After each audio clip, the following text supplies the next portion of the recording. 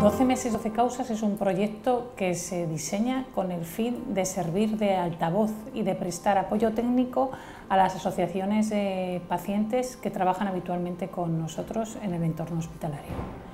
Y también a todas las ONGs que desarrollan y desempeñan proyectos de voluntariado en el Hospital Miguel Servet. ¿Cómo lo hacemos? Les cedemos todos nuestros espacios físicos y les prestamos apoyo técnico.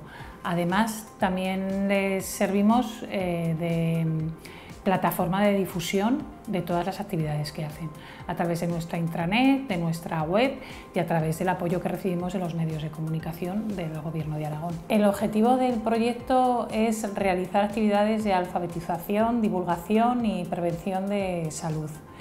Eh, y lo que queríamos era eh, unir a las entidades que trabajan con pacientes, a las asociaciones de pacientes, en un objetivo y en una causa común, porque descubrimos que había muchas de ellas que trabajaban con el mismo target, con el mismo perfil de usuarios y sin embargo no se conocían muy bien entre ellas ni, habían trabajado en red, ni habían compartido proyectos en común. El contenido de los meses está vivo.